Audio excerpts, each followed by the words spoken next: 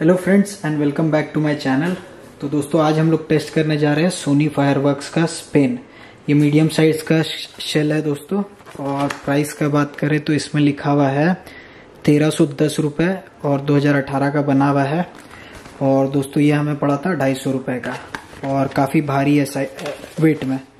और अगर दोस्तों, मैं आपको खोल के दिखाऊँ तो कुछ इस तरह का शेल है। बिल्कुल डेनमार्क और स्वीडन और पोलैंड जैसा ही है।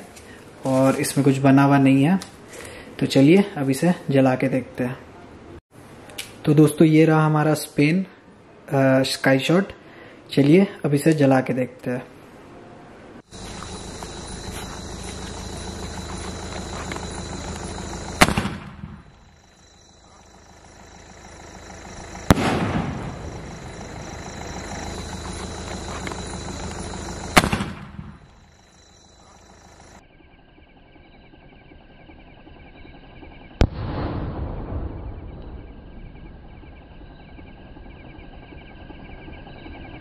तो दोस्तों, ये भी काफ़ी बढ़िया था।